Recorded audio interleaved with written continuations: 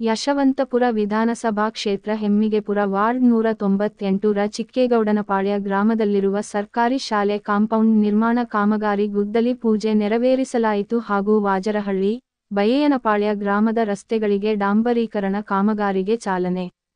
ಹಾಗೂ ಉಳ್ಳಾಳ ವಾರ್ಡ್ ವ್ಯಾಪ್ತಿಯ ನಾಗರಿಕರ ಬಹುದಿನದ ಬೇಡಿಕೆಯಾದ ದುಬಾಸಿಪಾಳ್ಯದ ರೈಲ್ವೆ ಕೆಳ ಸೇತುವೆಯನ್ನು ಉದ್ಘಾಟಿಸಿ ನಾಗರಿಕರ ಸಂಚಾರಕ್ಕೆ ಮುಕ್ತಗೊಳಿಸಲಾಯಿತು.